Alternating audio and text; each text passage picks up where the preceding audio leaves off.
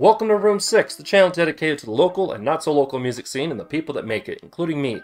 I'm Josh, and I'm, today I'm finally dropping into Red Dwarf Pizza, a place that's quickly becoming known for awesome live music and a great slice of pie. Besides checking out this fairly new venue, I was also there to finally meet in person a Canadian band whose singer I recently interviewed virtually, Deadwolff. Combine that with bands like Moth, Rose Levee, and friends of the channel Algorerhythm, and you're in for a good time.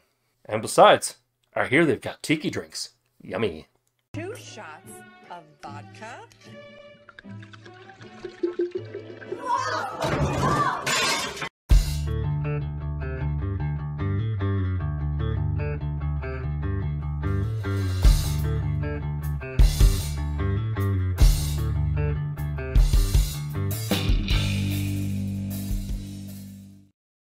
This video is brought to you by Audiobooks Now. We'll hear more about them later, but for now, on with the show.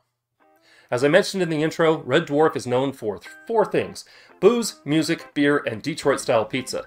I'll be doing a venue review sometime in the near future, so make sure you subscribe so you don't miss out. Speaking of which, if you'd like to be featured on Room 6, whether reviewed, interviewed, or both, hit me up using the Room 6 email address or the Room 6 social media link down there as well. First up was Rose Levee, one of two local acts for the night. With a commanding presence on stage and atmospheric rock rich with jam band and alternative influences, this band captured everyone's attention and did a great job of kicking things off. The second act of the night was Deadwolff, who, as I mentioned before, were recently interviewed on Room 6. This Canadian metal band keeps it old school but injects modern sensibilities into their fun brand of music. A fusion of classic hard rock, a little bit of punk, and vintage metal, complete with choreography. They uh, grabbed the crowd by the throat and didn't let go. And now, a word from our sponsors. Thanks, Josh from the past. Whether you're on tour and trying to ignore your bass player's snoring, or just trying to expand your mind while staring at mile after mile of corn, life on the road can get monotonous and downright boring. You know what would make it better? Shoving a book in your ears. Audiobooks Now is a digital audiobook downloading and streaming service. With their unique club pricing model, you receive deep discounts on all your purchases. Club members also enjoy rollover discounts each month and have access to exclusive discounts and offers. Club members can choose a free premium audiobook from hundreds of titles and can cancel at any time. Or users can purchase audiobooks at their everyday low prices with no plan required. You can download or stream audiobooks from their website or their free apps, both on Apple and Android. Audiobooks Now currently offers over 80,000 premium audiobooks plus thousands of free audiobooks. Just for watching this video and for being part of Room 6, and for a limited time, you can use my affiliate link down in the description to get two months free to their club pricing, which includes 50% off digital audiobooks, a free premium audiobook, exclusive discounts, and more. Just enter coupon code PJ2M at checkout. Plus, you'll be helping out the channel.